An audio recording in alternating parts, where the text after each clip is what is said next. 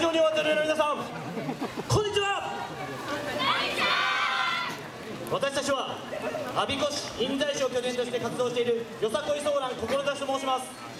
結成2年目この黒潮よさこい祭りは初めての参加になります。そしてこの飯沼観音会場が今日初めての踊りになります。どの会場でもお客様の記憶に残るような熱い演舞をしたいと思いますのでご声援のほどしくお願いいたします